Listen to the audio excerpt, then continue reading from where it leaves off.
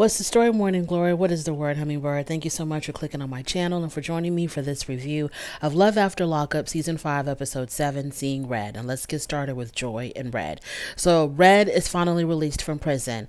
Joy is there. His mom, his sister, his cousins are all there to greet him. Anytime the prisoners come out, anytime that they're released from prison, it is really exciting to watch. I mean, I have a big old goofy grin on my face every single time I watch another scene where a prisoner gets released and their family and friends are there waiting for them. So he goes to hug his mother first, as he should. Then he hugs his sister. Then he hugs Joy. He tells Joy that he thinks that she's beautiful. And in his confessional, he tells us that Joy is the woman for him and he wants to spend the rest of his life with her. We also see that across his neck, he has, I'm assuming her name, Joy, uh, J O Y, is tattooed across his neck. So at some point, you know, um, you know, this is, it got real serious with him, I'm assuming. And um, so you know he says this is the love of his life and he if he could he would have gotten married to her right then and there. So let's see if he keeps that same energy throughout the entire season. So all of them go out to eat. They talk about joy's pregnancy because the mom and the sister love bringing up how joy cheated on redd and got pregnant on him. So they talk about you know joy cheating on him and how did the pregnancy affect him. And redd says he struggled with that. It was really difficult for him to find out that Joy was seeing other people and that she had gotten pregnant by another man. But he says that he worked through it. You know, he says he was just really in his feelings. And I'm thinking to myself, if you ever need to be really in your feelings, um, I guess it's when you find out that your current girlfriend got pregnant by somebody else while you're stuck behind bars. So he said that he processed his feelings and now he's okay with it. And he is ready to be a father to Joy's little boy. And he just got over all of that. You know, he got over the fact that she was cheating and got pregnant by somebody else. His mom brings up how other females were giving him money. Redd says that when Joy cheated on him, that's when he felt like he had the right to go talk to other females. And so he struck up these friendships with these other women and they began sending him money. I think he said at one point it was up to eight women that he was communicating with that was sending him money. Joy says that, you know, she has to believe him when he says that they were just friends. It was uh, strictly platonic. There was nothing sexual going on. And so she says that she's going to have to believe her man because she doesn't want to be that kind of woman that's always accusing her man of cheating and, you know, feeling really insecure and having to look through his phone and do all that stuff. She does not want to be that kind of girlfriend. We'll see if she keeps that same energy throughout until the end of the season. So in prison, um, like I said, he had eight different women that he was communicating with. He says he loves joy he loves joy, but he also loves the attention of women. He says, after being stuck with all these men for so many years, he loves to get attention from women. He steps outside. Um, he tells everybody that he has to go use the bathroom, but he actually went to go step outside. And when he went to go step outside, his cousin acted like he was looking for him and found him outside because his cousin was like, Man, you didn't go to the bathroom, you outside. So he asked to use his cousin's phone because guess who he had to call, y'all? The man that said that you know joy is the woman for him he don't want nobody else he's ready to get married. Um he's been out about eight nine hours from prison. He gets on his cousin's phone and he calls a female. Now, we just have to assume that, um, I mean, I don't even think we should be assuming. He calls a female. Next episode, we might find out that he was trying to call his grandmother or something, but he was trying to call some female because he said, oh, she's not even going to answer right now. Um, she's probably at work. So let's not jump the gun and let's give Redd the benefit of the doubt that it wasn't some, you know, random chick that he was trying to hook up with eight hours after being released from prison and um, seeing the love of his life for the very first time joy. Moving on to Andy and Brittney. So they're in the it's in the morning time and they're in the kitchen. Um, he's making breakfast. He's making pancakes and she tells him, "You don't even like pancakes." And he says, "Yeah, I know, but you do." And so she's like, "Well, how are we how am I ever going to get to know who you really are because you're always doing doing things just to appease me. You're always doing the things that I like to do. For example, making pancakes and going fishing." And he goes, "Well, this is a real me. The real me is someone who likes to uh he says, "The real me is someone who likes to compromise and accommodate, you know, accommodate for other people or whatever. So Brittney says, you know, that Uh, she tells us in her confessional that she's feeling very triggered by how much he is suffocating her, that uh, she just wants to call somebody and get high. But she's in the kitchen watching him make pancakes. So she straight up asks him for the rest of her money because he had promised her 1200 and he's only given her 5 and she's given that money to her kids which I'm pretty sure he was not anticipating that. And so she's waiting for the other 7 and he tells her that he's going to get it on Monday. And she's like well why can't we get it today? And he says well I can't pull out that much money today I mean, I know she's been gone in prison for a couple of years, but it hasn't been so long that she doesn't know how ATMs operate. You can go get money from an ATM any day of the week. I don't know why he told her he couldn't get money that particular day. I don't know. Like, does he, like, what? does he think she was in prison for like 30 years or something? So, uh, she he tells her, "Well, we'll have to go get it Monday." Of course, either he doesn't have the money, or he wants to try to keep her with him um, as long as he can, and so he's just going to string her along with promises of getting this money for her. So um, they talk about the car because he was also supposed to get a car for her. He says, "Yeah, I, I did get the car um, you know, it's the car that we were driving in. And she said, but I thought you were going to give me the car. And he's like, well, you can drive it. Uh, you can take me to work in it. Um, I'm giving it to you to, for you to drive. And she says, well, where's the title? And he says that it was still being financed. So she's like, you know, this is how he's trying to control me by, um, you know, not, I don't know what she was trying to say, but this was another example of Andy trying to control her because he's not going to give her a car you know, clear. What, what's the word? Uh, free and clear, or you know, whatever. He, like hand over the title to her. He's still financing the car, so she can't really own it. So she's like, well, this is how he's trying to control me, girl. Look, I don't understand this whole thing of him trying to control you you keep talking about how you know this man is doing all these things to you. You got into his car voluntarily and willingly and freely.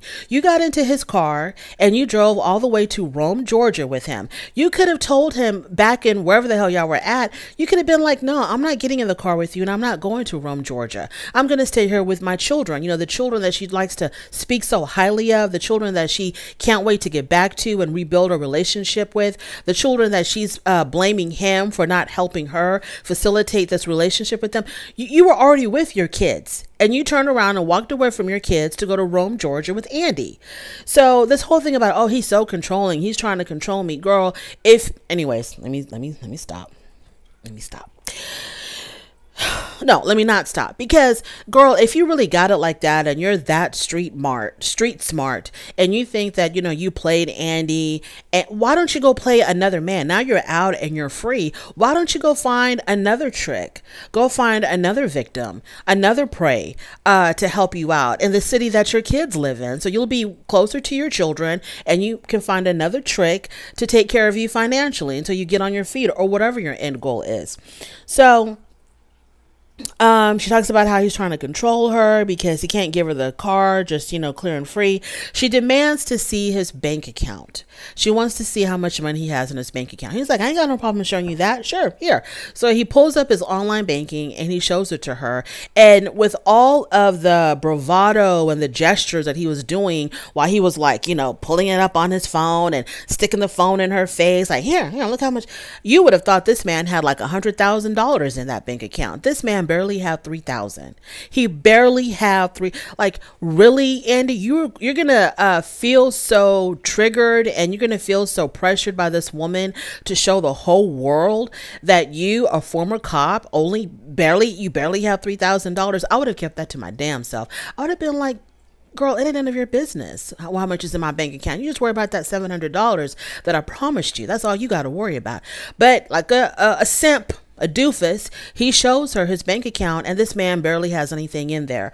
Uh, when I say that, it's compared to how he was talking. I'm pretty sure he was talking. You know, he was uh, talking real big to her when she was in prison. Um, talking real big about all the things that he owned, the cars, the money in the bank accounts, and all of that. This man barely has three thousand dollars. That is like one mortgage payment away from being broke. So, um she looks at the bank account and she sees that it's got like $2,775 or something like that. And she goes, That's all? And he's like, Yeah, that's all. And so she then demands to see the fraud because he kept on telling her how he didn't have, like, he had a lot of money, but there was some type of fraud activity on his account. And so. which you know she saw right through that she didn't believe him at all so he shows her um where um, he had taken out or someone had spent a hundred dollars for some online casino. And he was like you see it's right here. Here's the fraud. And she was like you do online gambling. So that could have been you using your own money. He was like i don't go to that website. I don't use that website for my online gambling. Andy it's just getting worse and worse and worse. So we see how broke he is. We see how he lied about fraud on his um, account. There was no fraud. Plus, he didn't even report any fraud to the bank. He's just showing these withdrawals or these deductions of hundred dollars for some um online uh some online gambling website. That's all he's showing her, and it just gets worse. And y'all, when you thought it couldn't get any worse, he was now he's upset now he's frustrated with her and he wants the camera people to leave because he takes off his mic. When he takes off his mic, for whatever reason, he had to like completely lift up his shirt to take off his uh, microphone. And we see Andy in all of his glory. Um, we see the y'all, I can't even I have I I'm in no position to talk about anybody else. But one thing's for sure and two things for certain. I'm not lifting up my shirt on national television to show anybody any skin. Okay, so he had no business exposing us to to all that. I don't want to body shame or anything like that, but really, like I said, I am not I, am not in a position to show anybody anything, but I'm not going to be on TV showing it. And let's just move on. So Brittney says that, you know, she was really excited to see where this relationship was going. She says that he just needs to really work on himself. And I'm like, girl, stop. Stop with all of the, mm-mm. No, ma'am. Um, you are not excited about this relationship. You're excited about his money. You thought this man, you thought this man really had uh, money to him, and so you were excited about getting your hands all over that. Uh, you don't give a damn if he works on himself or not. You could care less.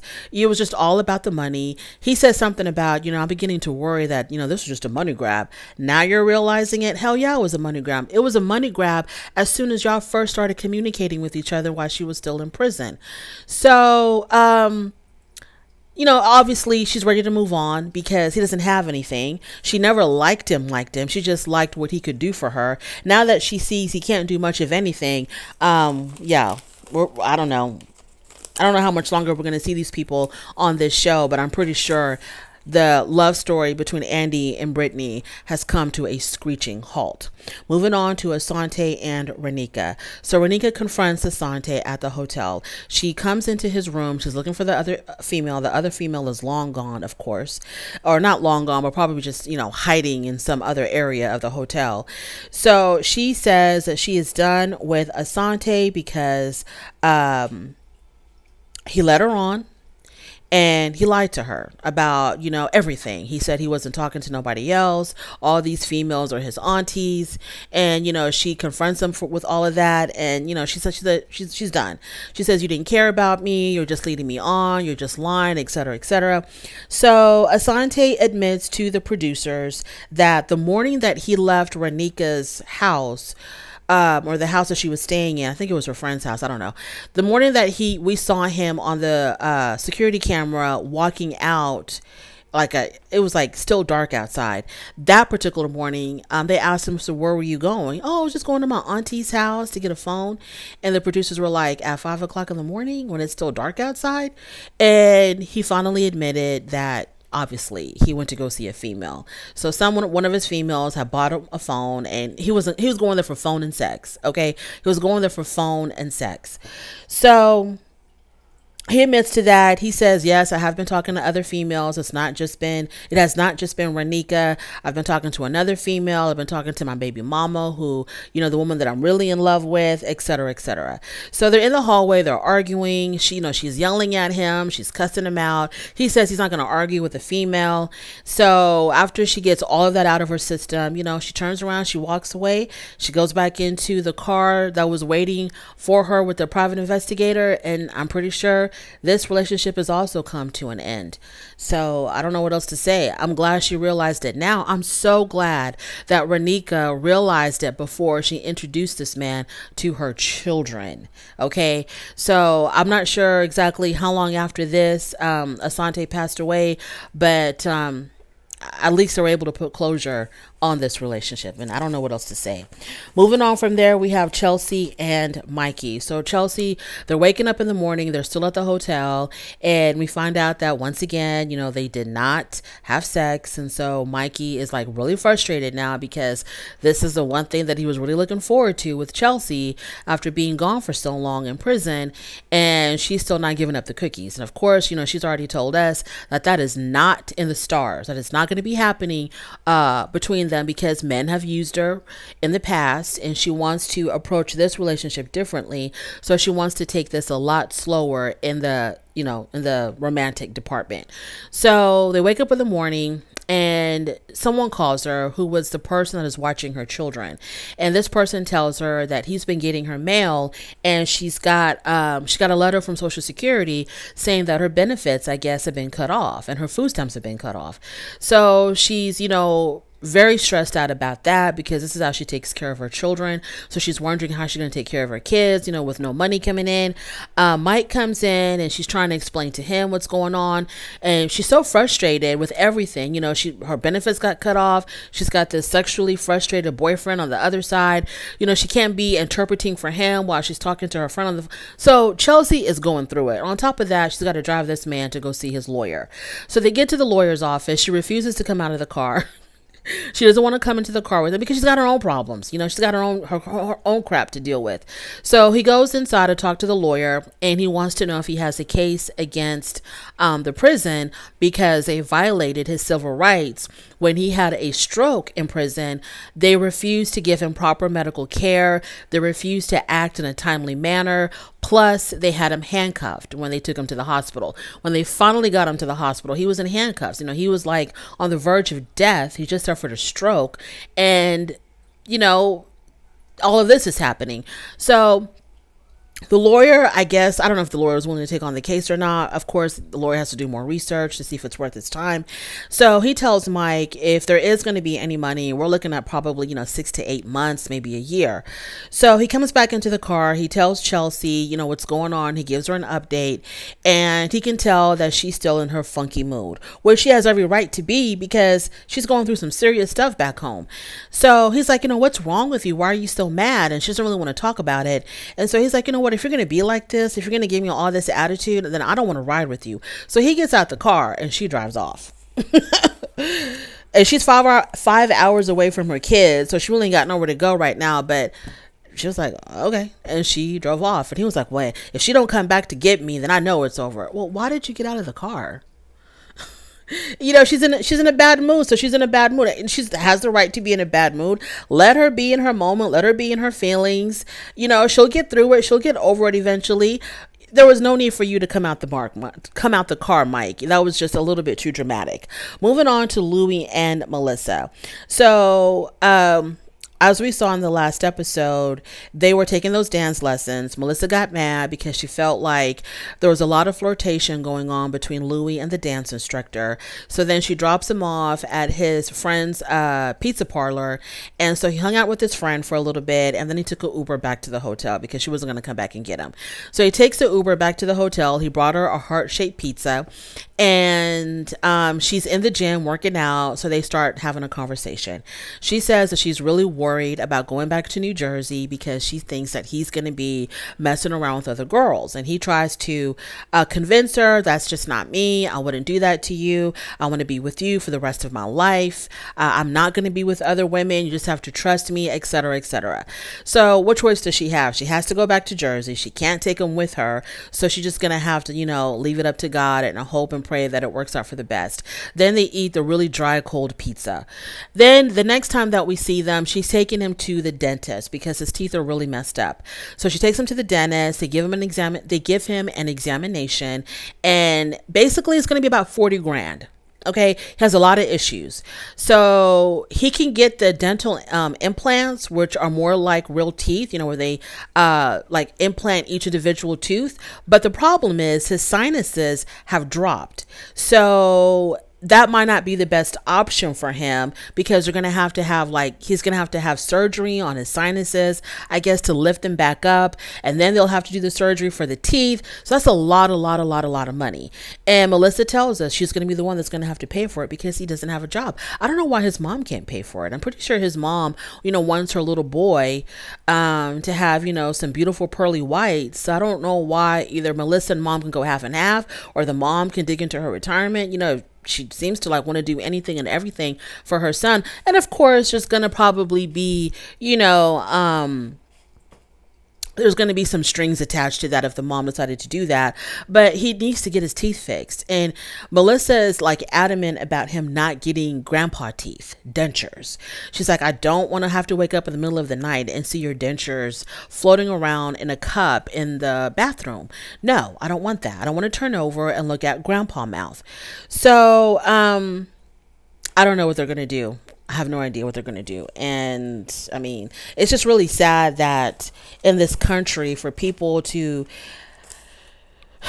you know, get their teeth fixed, it's, you know, it costs more than a car. It's just really sad, the cost of medical costs. Anyways, so it's just really sad. Anyways, that's all I have to say. I don't think I have anything else to add. Oh, yes, I do. Sharae and Anthony.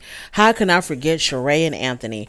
Okay, so Anthony, um, his PO calls him back and tells him, yes, you can go to the damn party, but you're going to have to come back at 1 a.m. because that was the whole issue of whether or not he can attend the party that Sharae had planned for him. So the PO says, yes, but you have a 1 a.m. curfew. So Sharae's son and her twin brother, Debo, come over, and um, Debo has a conversation conversation with Anthony, like, hey, you know, um, are you really ready to take on my sister because she's a, she's a lot, she's a handful. And Anthony tells the brother, this is what I need. She's so different from other women that I've dated because I normally date women who let me control the relationship. So your sister's the complete opposite of that. And this is what I need because she gives me structure. So I guess he liked the itinerary and knowing what to do every hour of the day and her planning out, you know, the whole day for him minute by minute. I guess that's what he's into, even though he said it felt like being in prison all over again. So I don't know. So um, they talk about the son. He says that, you know, he's looking forward to forming a relationship with her son because he sees him as her child, I mean, as his child as well. And so, yeah, he's ready to take on the role of bonus dad for uh, Sharae's little boy. And um, Anthony and his mom, they go ring shopping, right? Because he wants to propose. No, not to propose, because everybody thinks that they're already married. Remember? Everyone thinks that they're already married because Sharae lied to everybody and told them that her and Anthony were already married. And so he wants to uh, buy her a ring. And her other ring I guess she threw it away or something. She tossed it when she found out that he was still legally married to somebody else. And that's the reason why they couldn't get legally married because he was married to someone else. But nobody knows that right now. So he finds a ring for her and the ring was really pretty. I thought for $1500 it was really really really pretty. The ring looked a whole lot better than um, the ring that we saw I, I, forgot their names, but it was the lady who owned the was it an insurance company and she wanted her husband to run the company for her in prison on love during lockup and she took his money uh, she took money out of their bank account. Like i don't know how much it was. It was like a, an ungodly amount of money to go buy this ring which to me really didn't impress me. It was like 20000 10000 i think it was $10000 i don't know 15000 or something like that. And i felt like the ring that anthony bought for Sharae at 1500 looked a whole lot better. But that's just my personal opinion. So Anthony, he pulled out a fat wad of money and he paid for that ring in cash. I'm like, where, where do y'all get this money? Like straight out of prison. I mean, you must have some people out there that really, really, really love you to put that kind of money on your books that's my review for real now. Thank you so much for joining me. I really do appreciate it on your way out. Please don't forget to rate the video. If you like this content, uh, subscribe to my channel, and I'll definitely talk to you later. Bye.